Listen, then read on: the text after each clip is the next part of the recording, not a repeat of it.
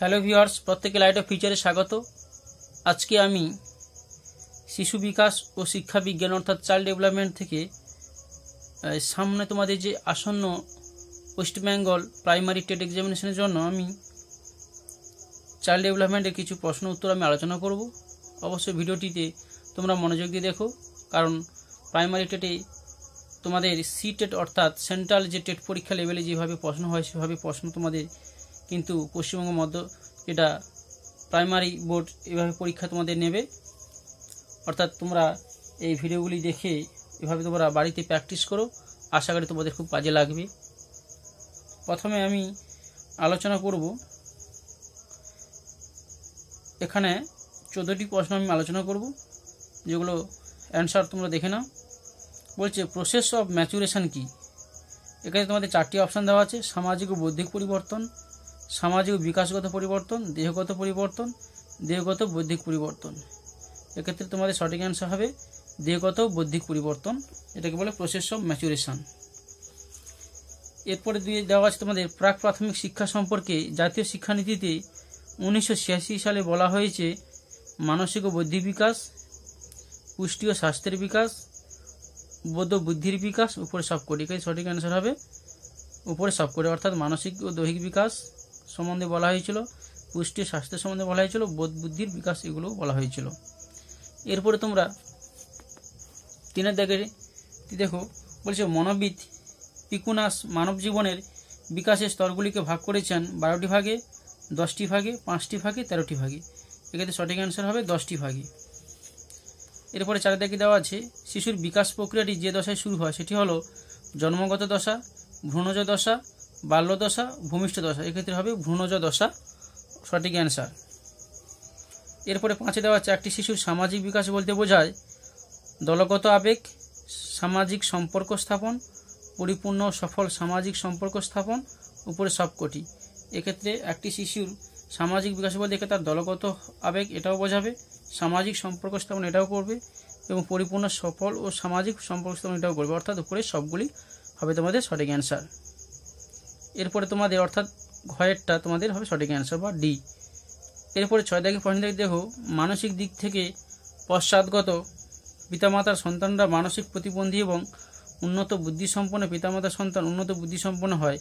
এই গবেষণালব্ধ ফলটি প্রকাশ করেন গিলফোর্ড, গিবসন, গ্যারিসন, গডার। এগুলো সঠিক অ্যান্সার হবে গডার। এরপর তোমরা সাত নম্বরের প্রশ্নটি দেখো।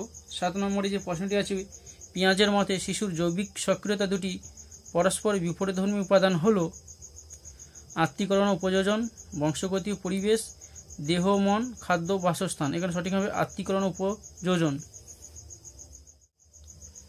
এরপর আরেক দাগে প্রশ্নটি দেখো। শিক্ষার্থীর সামাজিক বৈশিষ্ট্য পরিমাপ করা হয় সম্পাদিত কর্মের প্রকৃতি বিচার করে। সেই অভিক্ষার নাম ব্যক্তিগত অভিক্ষা ভাষাবিহীন অভিক্ষা, ভাষাভিত্তিক অভিক্ষা বুদ্ধির সম্পাদনী অভিক্ষা এক্ষেত্রে হবে, ভাষাভিত্তিক অভিক্ষা এরপরে নয় তোমরা দেখো আইকিউ প্রো কথা কি? এটা তোমাদের ইম্পর্টেন্ট এটা অনেকবার দিয়েছে কিন্তু তোমাদের। চাইল্ড ডেভেলপমেন্টে এই প্রশ্নটি কিন্তু অনেকবার প্রাইমারিতে পড়েছে। দেওয়া হচ্ছে ইন্টেলিজেন্স কোশ্চেন্ট ইন্টে ইন্টেলিজেন্ট কোশ্চেন্ট ইন্টেলিজেন্স কোশ্চেন্ট এবং ইন্টেলিজেন্স কোশ্চেন্স এক্ষেত্রে হবে, তোমাদের কিন্তু এখানে কাছাকাছি দেওয়া আছে। সঠিক হবে অ্যান্সার ইন্টেলিজেন্ট কোশ্চেন্ট এরপর দশে থেকে দেওয়া আছে তোমাদের ডাব্লিউআই এস সি পুরো কথা কি? Wechsler intelligence score of child Wechsler intelligence scale of scale for children Wechsler intelligence scale for child কোনটি নয় এখানে সঠিক অ্যান্সার হবে Wechsler intelligence scale for children অর্থাৎ বিদ্যাকে, অর্থাৎ ক্ষয় অ্যান্সারটা সঠিক। এরপরে দাগে দেওয়া আছে, শিক্ষার্থী ভর্তি ব্যাপারে শিক্ষক সাহায্য নেয় বিকাশের বুদ্ধির আগ্রহ, মনোযোগ। এক্ষেত্রে সঠিক অ্যান্সার হবে তোমাদের বুদ্ধি। শিক্ষার্থী ভর্তির ব্যাপারে শিক্ষক সাহায্য নেয়, তার বুদ্ধি।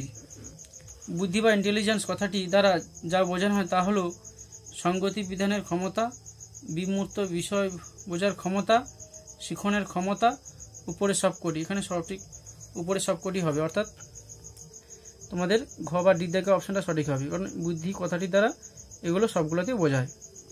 এরপর তেরো দাগে তোমাদের প্রশ্ন দেওয়া আছে, দেখো বৌদ্ধিক পরীক্ষা কোন ধরনের শিক্ষার্থীর উপর প্রয়োগ করা হয়? বংশগতির হিসাবে যেসব শিক্ষার্থীর মান এক, যারা একই ধরনের শিক্ষক পেয়েছে